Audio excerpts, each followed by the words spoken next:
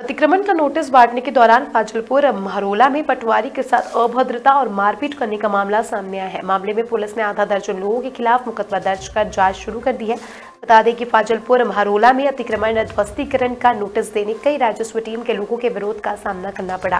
राजस्व उप निरीक्षकों ने कोतवाली पुलिस को तहरीर सौंप कर कुछ युवकों पर सरकारी काम रोक कर अभद्रता करते हुए मारपीट और जान से मारने की धमकी देने का आरोप लगाया है।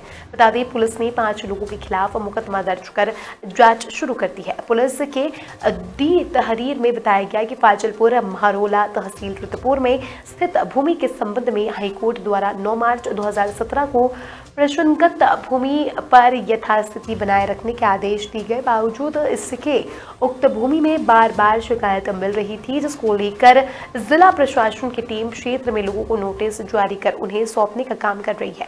नोटिस वितरित कर रही राजस्व उप निरीक्षकों की टीम के साथ कुछ युवकों ने सरकारी काम में बाधा पहुंचाते हुए धक्का मुक्की कर मारपीट की। आरोपियों ने टीम को जान से मारने की धमकी भी दी। पुलिस ने पटवारी महेंद्र मिश्र की शिकायत पर आरोपियों के खिलाफ मामला दर्ज कर जाँच शुरू कर दी रुद्रपुर से मुकेश मंडल की रिपोर्ट।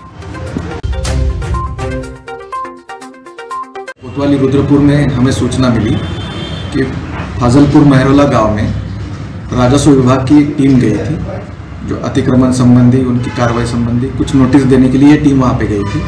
तो इनके साथ सरकारी काम में बाधा डाली गई और इनके साथ बदतमीजी का मामला सामने आया है, अभद्रता का मामला सामने आया है।